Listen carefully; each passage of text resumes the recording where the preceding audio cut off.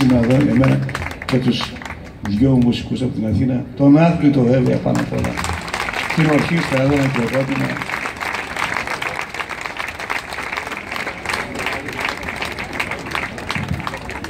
Η δική σας εδώ πέρα, ένα θερμό χειροκρότημα.